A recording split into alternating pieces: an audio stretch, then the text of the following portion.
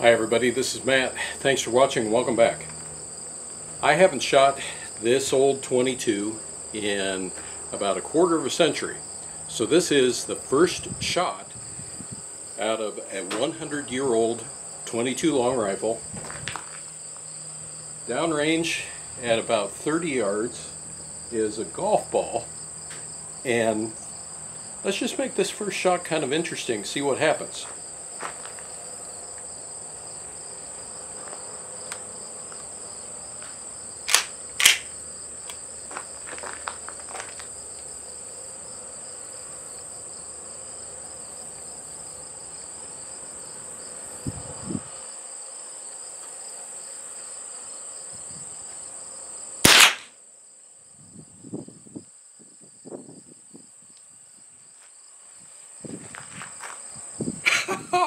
Right, we got it.